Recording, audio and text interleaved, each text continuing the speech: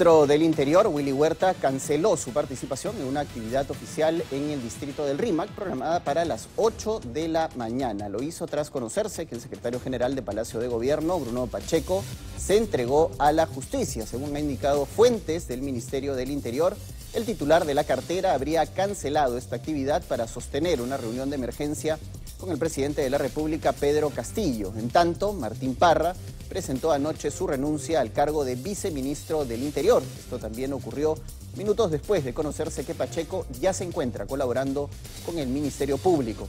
Tras su renuncia, hoy se publicó en el diario oficial El Peruano una resolución que designa a Abel César Gamarra Malpartida como nuevo viceministro de Orden Interno del Ministerio del Interior.